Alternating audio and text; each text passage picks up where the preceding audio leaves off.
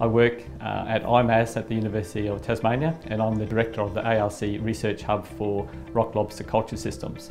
People have been working on this for a long time, so they started lobster research in Japan in the 1960s. A lot of places around the world have been able to produce a few lobsters. They produce them in uh, like a, a 10 litre bowl where someone looks after two or three individuals and if there's any disease they use antibiotics. It was obvious to us that that approach was never going to be able to be turned into a commercial proposition. How do you take that to a scale where you've got tens of thousands of animals in a tank and provide the appropriate feed and water conditions?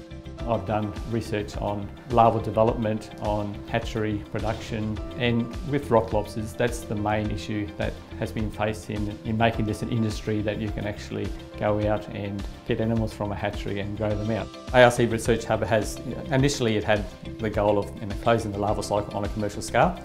We were able to achieve that and we're partnered with a partner now that's actually going to build a hatchery and, and do some actual grow out of the animals. Because this is likely to happen in Australia, there's issues around how do you grow these animals out in a sustainable way. It's everyone's aim, of course, to actually see something commercialised rather than that was good, let's put that on the shelf. Straight away, there's 10 other questions that we've got to answer.